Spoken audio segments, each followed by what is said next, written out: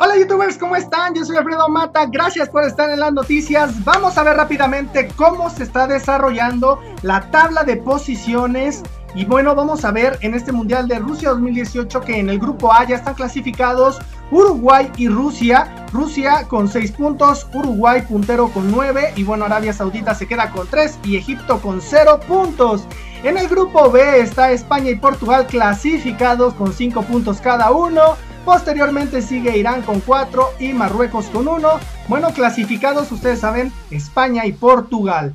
En el grupo C tenemos a Francia y a Dinamarca clasificados. Se puede decir que bueno, Francia se enfrentaría, eh, sí, ya de hecho ya se va a enfrentar a Argentina que acaba de vencer a Nigeria.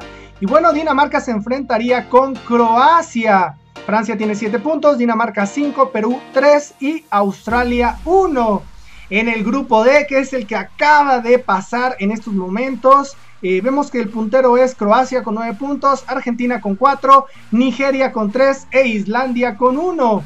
En el grupo E está de puntero Brasil y Suiza, todavía se va a definir mañana este grupo. Sin embargo, eh, Serbia tiene 3 puntos y Costa Rica 0. En el grupo F está México de puntero, ha ganado sus dos partidos y va a definir todavía el día de mañana contra Suecia. Y en el segundo lugar está Alemania empatado con Suecia, ambos con tres puntos. Y finalmente Corea del Sur con cero, pero todavía tiene probabilidades de pasar a la siguiente ronda. En el grupo G está Inglaterra y Bélgica, ya están clasificados con 6 puntos ambos. Y ya sigue posteriormente Túnez y Panamá con 0. De hecho, Panamá tiene menos 8 puntos. Y finalmente el grupo H en donde se encuentra Colombia. Tenemos que Japón y Senegal están empatados y bueno, de punteros con 4 puntos. Posteriormente sigue Colombia y Polonia. Colombia tiene 3 puntos. Eh, hay que decir que todavía se va a definir este grupo en la tercera fase. Y podemos ver que ya tenemos algunos eh, en el cuadro de desarrollo que ya están en los octavos de final.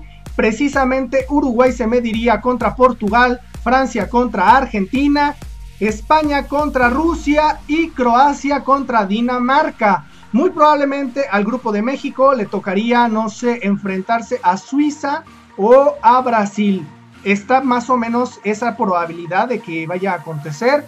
Y bueno, por favor, youtubers, si les gustó este video, manita arriba, comenten, suscríbanse. Por favor, no me decepcionen, comenten el video. Les dejo un gran abrazo y que estén muy bien.